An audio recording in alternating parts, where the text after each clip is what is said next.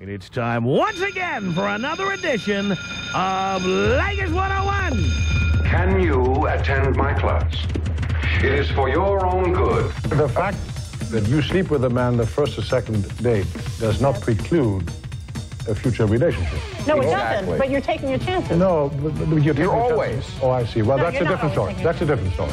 When it comes to emotional importance, then it makes no difference whether it happens the first night, the second night, the third night. It really doesn't. Two men. Of course not. The point is this. A man has an absolutely phony relationship with you before he goes into the sack with you. while you're sitting there talking about your cat Fluffy and your last boyfriend and how he treated you and how nasty your boss is, we're sitting there thinking how you look naked. Right. That's what we're thinking about. So we don't hear a word you say until we've had you. That's- So what is the point of dating in the first place? It's Leykis 101, the ongoing on-air adult education course that teaches men how to get more tail for less money. And more importantly, it teaches women how men think. I am your professor. Class meets at this time every week. We get together and we discuss issues of relationships, dating, sex, and most importantly, how to get sex without spending money. How to avoid marriage. I'm a licensed interpreter. I can interpret women into English. Women speak in code. I know what it all means. I will be happy to tell you. This is a, uh correspondence school of sorts, so uh, the professor gets a lot of mail. Carrie writes in, says, Tom, Tom, Tom. Where to begin? I am a huge fan, as is the guy I've been seeing for about three weeks. He's got you really down pat. Anyway, I am 5'11, blonde hair, blue eyes, great rack, and graduate level education. I am 28, and the guy I've been seeing is 35. Every time we've gone out, I've split the bill with him. And we consummated the relationship on the first night. Hooray! At first, I thought I just wanted to have someone to hang out with and have lots of great sex, but I'm starting to really like him. He's not as stupid as I originally believed. He's actually sweet and attentive. So here's the deal. He is a convicted felon. He served time in 89 and 90 for possession of intent. Possession with intent. Uh, I imagine that means drugs. Okay. He's got two kids, I've got none, and an ex-wife that is way too close geographically. Sexually, he's unbelievable. But I'm worried that there is not real potential here for anything more. That was good in the beginning because my life is extremely busy and relationships are too effing hard. Didn't say effing. But he's growing on me, Tom, and he thinks you are a god. Any advice for me? Should I hide and watch and see what happens or get while the getting is good? I've only dated suits in the past. I am a straight and narrow Catholic girl. Ha ha ha. There's someone who likes a good crack in the ass, huh? Thank you, Jesus! Uh, and now she's found herself blown away by this bad boy on a motorcycle. Help. Your number one fan, Carrie. Gary sounds like a lot of baggage there. And uh, he's a bad boy. Uh, better to bang him. And if you can't bang him without falling in love with him, stop banging him. I know that's not what you wanted to hear, but I believe it's true. That's a hard one. Kids, ex-wife, convicted felon, although it was 11 years ago. I say, uh, just bang him or get up. Do not get involved with a guy like that. I'm gonna change him. You know that's going on there. You know it. Mike in Simi Valley writes in and says, Hello, Tom. I need help from the master. I am currently living with a woman that is driving me nuts. We had a great relationship. Keyword had. Now I can't stand her. I would leave, but we do have some bills together. Damn, I wish I knew of Leykis 101 three years ago. I feel that I'm stuck between a rock and a hard place. Actually, a blimp and a hard place. Oh boy. I can't afford to move out, but staying here isn't working either.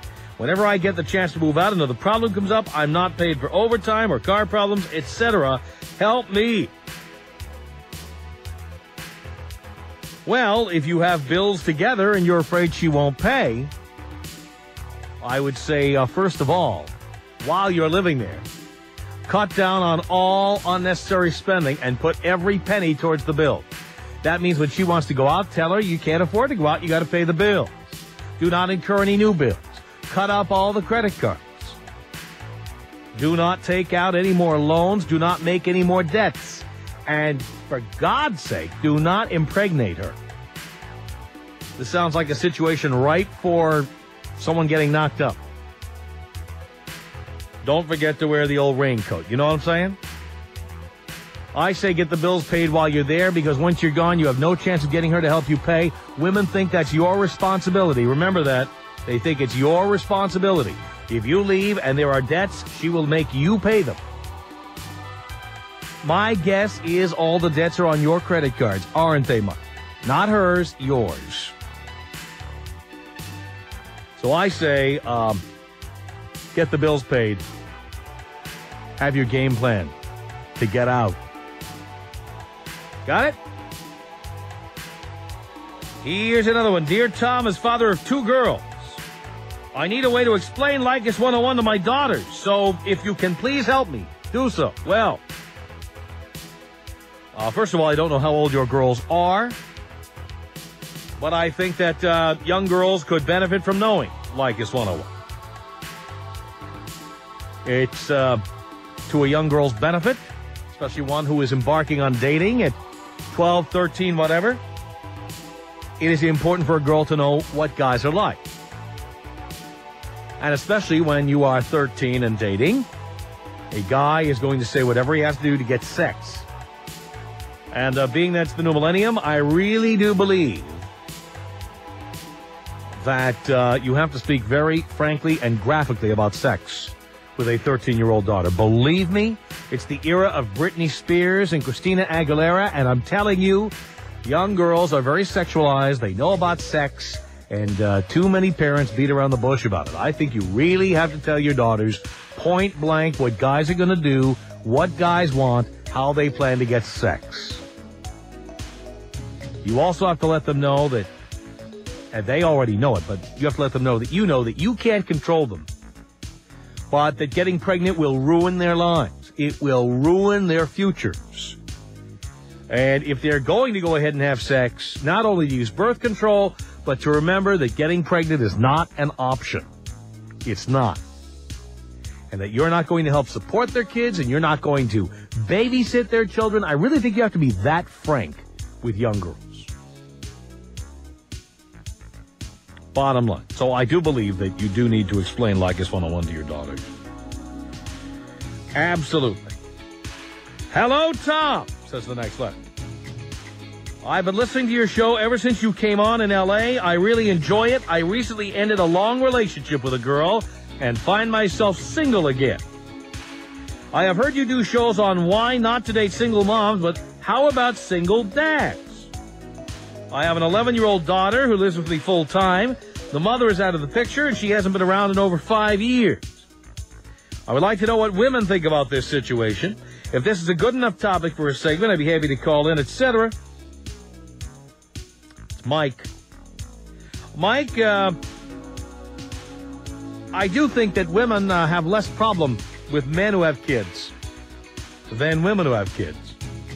Than men do with women who have kids. But here's the deal. Your best shot with a woman is with a woman who has kids.